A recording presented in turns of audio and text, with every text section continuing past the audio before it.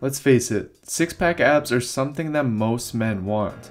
They not only complete a lean muscular physique, but are also representative of all the dedication and hard work you've put in to attain them. However, with the amount of people wanting a six pack of their own comes the overwhelming amount of bad advice out there on how to actually get them. For example, a quick Google search is all it takes to come across a plethora of misleading information. Some say you have to ingest certain types of special foods and drinks while avoiding others. Some advocate special fat burning pills as all you'll need, whereas others promote ab exercises as the key to stripping off that belly fat, which is now something that most people unfortunately believe in.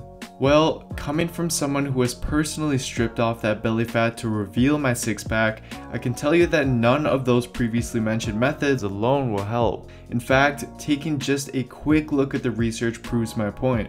For example, this 2011 paper from the Journal of Strength and Conditioning Research found that 6 weeks of direct ab training 5 days per week had no effect on reducing belly fat in overweight subjects simply meaning that no amount of ab exercises alone will get you a six pack. So what should you do instead? The good news is that the real evidence-based way to get a six pack is actually quite simple. And with the following three steps I'm going to cover, by the end of this video you'll have a complete game plan to get you there. Step 1 is the most important step and involves setting up your nutrition, which is going to be responsible for stripping off the excess fat that's covering your six pack in order to reveal them. As many of you know, in order to lose fat, you must be at a calorie deficit. And the easiest way to create a significant calorie deficit is simply by eating less. Now although you could theoretically do this by exercising more instead, that's actually much harder to do and sustain. For example, most people would find it much harder to burn an extra 500 calories daily by jogging for 40 minutes as opposed to just eating a little less, which is exactly why you need to prioritize your nutrition.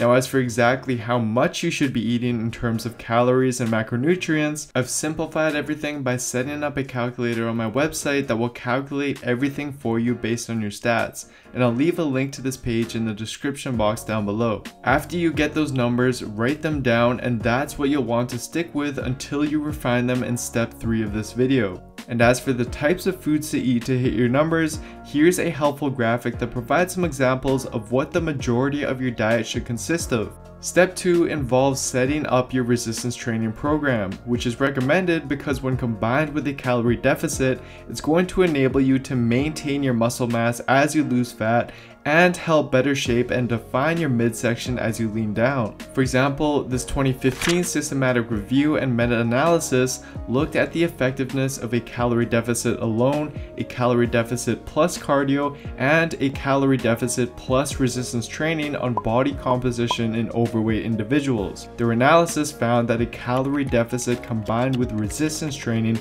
provided the most favorable changes in terms of fat loss and muscle gain. As for what resistance training program to use, for a good routine, I'd highly suggest checking out my upper lower workout split videos which come with a PDF you can download and get started with right away. And again, these will all be linked down below. And as for direct ab training, despite what I said earlier, it actually is something I'd recommend incorporating in your routine. The main reason is because compound movements and resistance training exercises in general don't stimulate the abs very well. In fact, this 2014 EMG paper from the Journal Strength and Conditioning Research found that activation of the abs and external obliques during the back squat was quite minimal, less than 20%, whereas the standard sit-up led to more than double the activation at around 40%. So since the abdominals and obliques can be grown just like any other muscle, these findings mean that you should be training them directly as this will improve their look once you strip off the excess fat covering them. My recommendation is to train them around 1 to 3 times per week with a mixture of both weighted and unweighted exercises, which can be done on your rest days and or after your main workouts for example. Now as for cardio, it's not necessarily needed from the start and will be mainly used as a tool to speed up the fat loss process, which will be discussed in step 3. Once step 1 and 2 are in place, the last thing you need to do is monitor your progress throughout the weeks and adjust accordingly to ensure you're heading in the right direction. And you can start by simply weighing yourself every morning and tracking that over time. Multiple studies like this 2011 paper by Garthe and colleagues have found that aiming to lose around 0.7% of your body weight per week is a sweet spot in order to maximize fat loss while minimizing muscle loss. For example, a 170 pound individual would aim to lose roughly 1.2 pounds per week. So what he'd do is track his morning weight over time and take a weekly average of it. If he's getting close to his goal weight loss per week, then we know he's on the right track. If, however, he's not losing weight at all or not fast enough, then he should adjust by either slightly reducing his calorie intake or adding a little bit of cardio in order to now hit his goal.